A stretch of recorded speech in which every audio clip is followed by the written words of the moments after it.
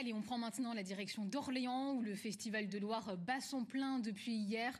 En ce deuxième jour, beaucoup de monde sur les quais. Il faut dire que c'est aussi la plus belle journée de la semaine. Bonsoir Flavien Texier. Vous continuez ce soir votre découverte à des embarcations très typiques que l'on peut admirer sur le fleuve. Retour ici en direct sur notre Futuro en compagnie de notre invité, c'est Jean-Pierre Simon. Bonsoir Jean-Pierre. Bonsoir. Alors vous êtes euh, un écrivain de Saint-Cyr-en-Val et vous venez de publier un livre Vivre la Loire et connaître ses dangers. Alors comme ça, eh bien, le titre euh, ne fait pas franchement rêver, pourtant on va le voir, c'est passionnant. Comment est venue l'idée de cet ouvrage? Alors l'idée de cet ouvrage est venue en constatant tous les ans dans la presse un certain nombre d'accidents, de, malheurs sur le fleuve. Un fleuve où tout le monde se baigne et pourtant où la baignade est interdite. Donc on a voulu faire le tour de tous les dangers qui pouvaient survenir sur la Loire. Alors le premier danger, vous venez de l'évoquer, c'est la noyade. Absolument. La noyade qui est très souvent imputable au banc de sable qu'on appelle improprement sable mouvant, dont l'exacte dénomination est bout de grève ou cul de grève, et qui sont donc de sérieux dangers qui nous amènent à glisser, à être euh, un petit peu englués dans ces sables et à partir dans le courant et se noyer. Jean-Pierre, quels sont les autres risques majeurs que l'on peut rencontrer sur le fleuve? Les risques peuvent être liés à l'environnement. Il y a surtout un certain nombre de plantes qui sont toxiques, allergènes, quelques animaux, mais c'est limité.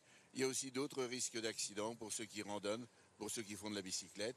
Et il y a aussi les risques d'accident pour les usagers de la Loire, que ce soit les mariniers ou les canoïstes euh, et ceux qui pratiquent des sports extrêmes d'eau douce.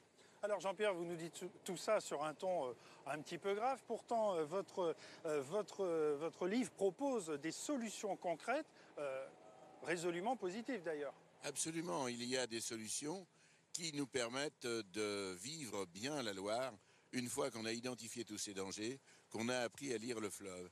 Et il y a également référence à un certain nombre de partenaires qui sont là pour nous porter secours lorsqu'on est en détresse.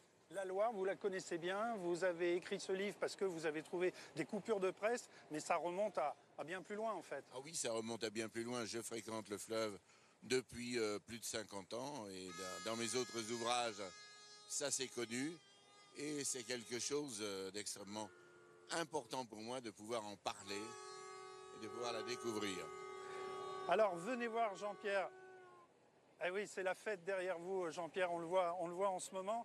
Euh, votre livre est publié aux éditions Corsair. Venez, venez sur le Festival de Loire rencontrer Jean-Pierre Simon. Il sera là jusqu'à dimanche. On en vient à notre rubrique Un jour, un bateau. On va faire la connaissance avec un bateau anglais qui arrive de Bristol. C'est un bateau à vapeur. Les images sont signées Wilfried Redonné. Le commentaire, c'est Nathanaël Lemaire. On se retrouve juste après.